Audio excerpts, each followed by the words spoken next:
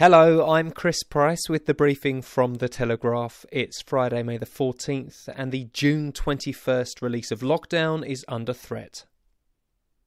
Boris Johnson said Britain will face some hard choices. That's if the Indian variant of coronavirus is significantly more transmissible than the Kent variant. The Prime Minister said at a Downing Street press conference that the mutation could make it more difficult to go through with the June 21st release of lockdown. Professor Chris Whitty said there's no doubt the Indian variant is more transmissible.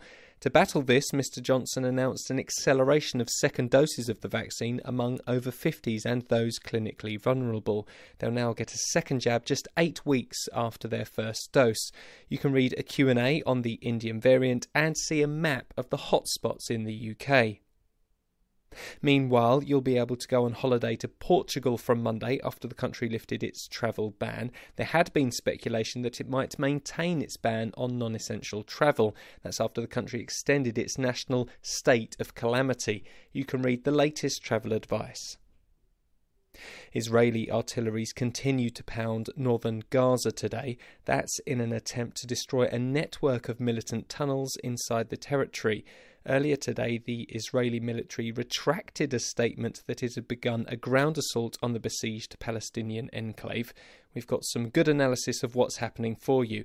Michael Stevens looks at how the conflict is a must win for Benjamin Netanyahu, but outlines how Hamas is no longer a pushover.